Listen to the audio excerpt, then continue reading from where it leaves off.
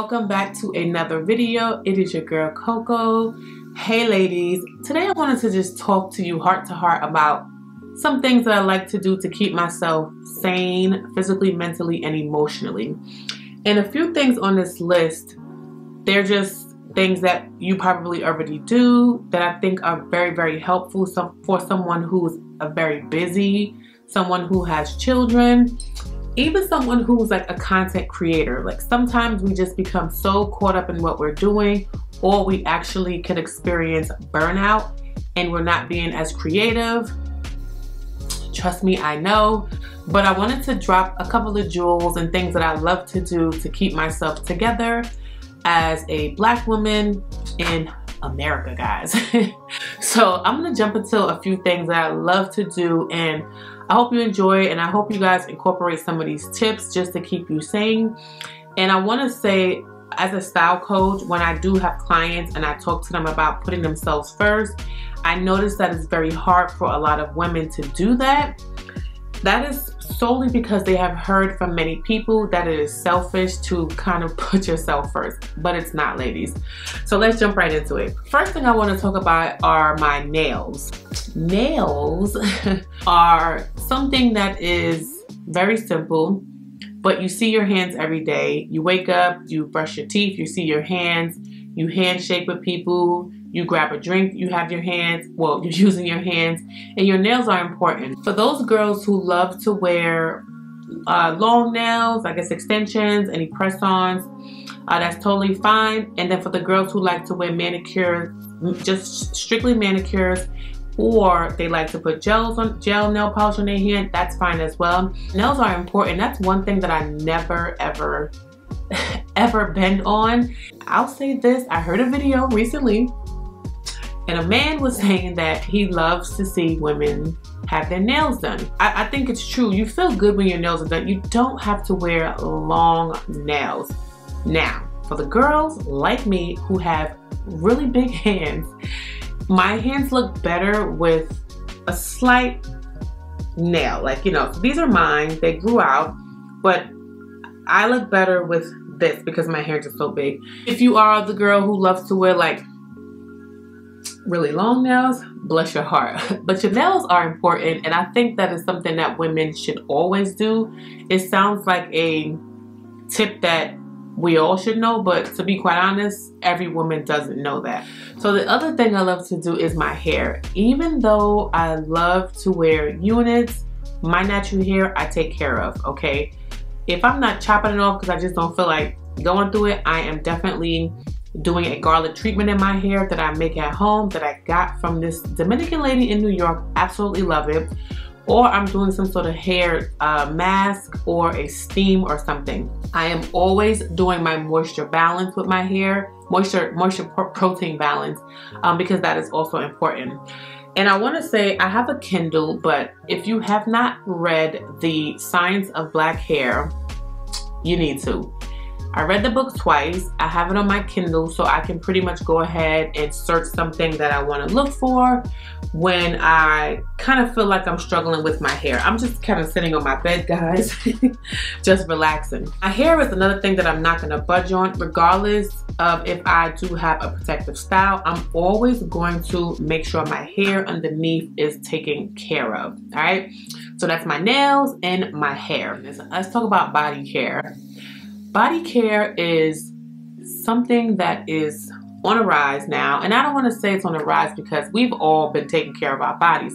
But it's some things that we've never thought about, like doing a scrub once a week on the body, like a light scrub, or even exfoliating your face um, once a week with a product. Just taking care of your skin with vitamin C, using serums and stuff. I'll be the first to say growing up, my mom had us putting Vaseline on our face. Now, we know Vaseline is bad. However, my skin was at its best. I'm not even gonna lie to you. Like I had no issues with my skin. And it was to the point where if I would get like a bump or something, literally it would leave a mark. I would put Vaseline and it was like that skin would come off. So I'm not saying to use Vaseline. but I'm saying it worked for me. I haven't used it in a long time, but I feel like my skin was better back then. I don't know, but skincare is important. Uh, body care, you know, things, good lotions, things that good well, things that actually make your skin moisturize. I love the Kiehl's Creme de la Corp um, lotion. It is expensive, but I absolutely love it. And I think that if you can find it for the low low, get it. That lotion has my skin looking so moisturized. I've never seen my skin so moisturized. So I don't know if it's a, I think it's called squalene that's in it that makes the skin like that, but I absolutely love it. Now, if you want something more affordable, don't sleep on Nivea, guys. Like the original Nivea, I think it's so good. Not the new stuff that they have, but the old original one in the dark blue bottle. I swear by that. Like if you cannot afford something higher end, definitely don't sleep on the local your local stores to get something like Nivea. All right, let me get into my sleep pattern. Very early on as a child, my mom had us in the bed at 8 o'clock. Okay? So it was no hanging out super late until I got like a little, maybe like 17 right before I moved out. If you guys want to hear that story, I will tell you that too. This is in New York City. So going to bed at 8 o'clock was just the norm. As an adult, I am still in the bed by 10 o'clock. Sometimes 9, like yesterday. Depending on how I'm feeling, I would rather unwind in my bed. So if you haven't unwind before, definitely try it as opposed to you coming in the house, rushing, blah, blah, blah, and then, or doing a whole bunch of things and just like literally barely making it to your bed and falling right to sleep. When you're laying down in your bed and you're just like relaxed and you're literally unwinding from the day and you actually sleep better, which leads me to my other thing that I love to do, which is meditating meditating and listening to different frequency music things that reprogram the mind at night, I love it. If you are not into that, trust me, you will love it. You will sleep through the night. If you suffer from like sleep apnea, I know it's a medical condition, but I'm telling you, when you put that music on, you find the right frequency or some sort of sleep music, you're going to sleep through the night. I had days where I would get up, use the restroom, and would not be able to go back to sleep once I started listening to that, the best. Like I'm right back to sleep. So now I'm listening to a 30 day where I'm challenging myself to listen to something for 30 days where it's like reprogramming my mind and just like affirmations and stuff. And just literally it's like seeping into my brain and my subconscious mind. And I actually feel really, really good. So meditating is another thing. If you have the space for it, I would recommend getting you, and I would pop in a picture, but they do say you should keep your meditating area sacred. So I'll probably find another photo or something and pop it in. But definitely if you have the space for it, like a little room in a closet in the corner, create that meditating space, create like a prayer corner or something, whatever works for you. That way you can go there every morning before you do anything and just meditate on that day, set your intentions, and kind of go from there. So meditating is the other thing that I love to do that I'm never, ever, ever going to budge on. Let's not forget about eating. For those of you ladies and gentlemen who have been following me, I am a plant-based vegan, but goodness gracious, guys, I'm struggling right now where I have an urge to eat fish. I don't know if that could be because maybe I am lacking something in my body. Not too sure, but I have an urge for seafood and I may dive into it. You guys tell me if you have struggled with this, but eating is very, very important to me. My eating habits, eating mostly foods that I cook is something that I would pride myself on.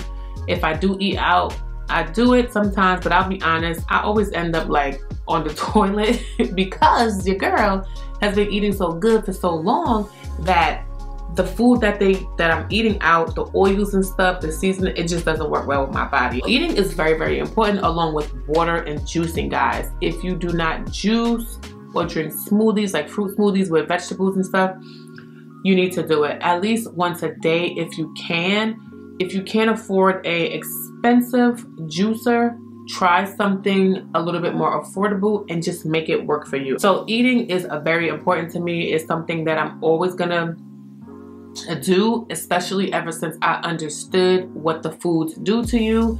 And you guys already know I talk about my mom passing from breast cancer, my grandmother and my aunt. Eating habits are important. They say certain things are hereditary.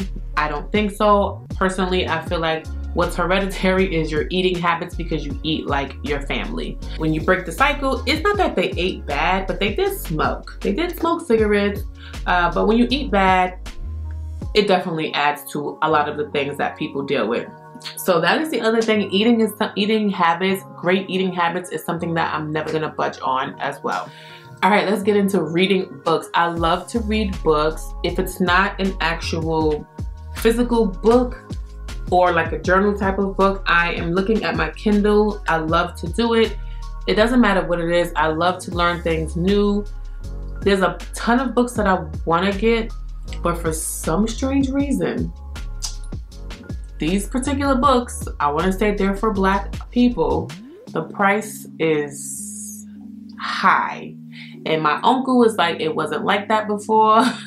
this book was cheaper. So to me, there's something in this particular book that somebody don't want us to know. Uh, but I'm probably still going to do it because he said it's a really, really great book. But reading is something that I love to do, and you should too. Just try to pick up something that you could actually read, um, even if it's a short book of affirmations. Read something daily. Which leads me into my other point walking. I'm not the girl that's out here doing workouts all day. I used to be that. Um, you guys know I did go to the Pilates class. I did not show that vlog yet because there's just so much going on in that video. But I did go to the to the Pilates class. I loved it. I am gonna sign up. But walking is something that I'm going to start doing, even if it's like three times a week around the park over here. It's a really nice park, very clean, and I enjoy it. Walking is another thing that I started to do. I'm, this is an add-on. The rest of this stuff I've been doing for many, many years but this is like an add-on because I never liked walking, guys. I don't know what my deal is with walking. It just wasn't my thing, but I absolutely love it. Getting this vitamin D, it's amazing. So if you haven't been walking, if you are, if you are on some sort of like journey, health journey, start with walking. Take it slowly. Don't let anybody discourage you. I would recommend walking first as well as eating because you know eating is like uh like 99% of everything so walking is another thing that I love to do and I'm not gonna give up taking time for myself is one meaning taking trips taking myself to the movies taking myself on a little solo date taking myself for walks in the park taking myself shopping pampering myself literally even if it's buying something for my home I am a cancer my home is my sanctuary. If my home is not in order, I am literally thrown out of whack. I've been like that for years, so I know I need to clean, I need to dust, I need to do certain things. It needs to smell good in here. I need to have a ton of things stacked in here like towels and tissue and food. I like to be home, so my home is my sanctuary. So I'm always gonna have the things that I need available for me. Taking time for myself, whether it is just being home, watching TV, again or literally honestly cleaning up cleaning up is very very I don't know it's very therapeutic for me um, the air just came on guys. So it's very therapeutic for me and it may not be for some others but it definitely helps me with relaxing. And once I'm done and it smells good I just relax take a bubble bath which is a part of my body care and then I just kind of chill out guys. And the last thing is I remove people and things that do not add value to my life out of it. You have to learn how to get rid of people regardless of who they are. Now, I am not the girl, okay? You guys have not seen this side of me, but I am not the girl who feels like because they are my relative that I have to deal with certain things. No, ma'am. Absolutely not. If someone in my family is not good or have good energy, who is a user, I don't care. You out of there. I'm just not going to deal with you. If you are a person who takes advantage of people, you're out of there. If you are a person who is a bully, you're out of there. Okay? It's just what it is. I've had friends where I feel like they were like kind of low-key bullies or underlying not really happy for me. And to be quite honest, friendships have died and let me tell you something. I am happy. Like I am never upset about a friendship that goes sour because 99% of the times they didn't really have your best interest and sometimes you you see it but you ignore it so these are some of the things that I love to do to keep myself in a healthy mental state and physical state and anything else that will help me remain kind of balanced and on track. Hope that helps you ladies. This was just like kind of like an impromptu video. I was just sitting here. I cleaned up this weekend and I feel so good that I did that because so much has been going on and my brain has been full of so, stuff. For the ladies with children and maybe a household full of people, you can still do a lot of these things for yourself. You may not be able to do it in the house, but you can definitely go to a park and have some time for yourself. For the moms, if you are married, give the child to the husband. If you are a single mother, you can definitely have a friend babysit, send the kids to the daddy. have your time for yourself. If you do not take time for yourself, you are going to be inundated with pressure and that's not what you want to do. I hope you guys enjoyed that. Those 10 things that I love to do that I'm never going to stop doing to keep myself grounded mentally, physically, and emotionally, guys. So if you like videos like this, please comment below. And if you stay to the end of this video, please comment Coco We See You.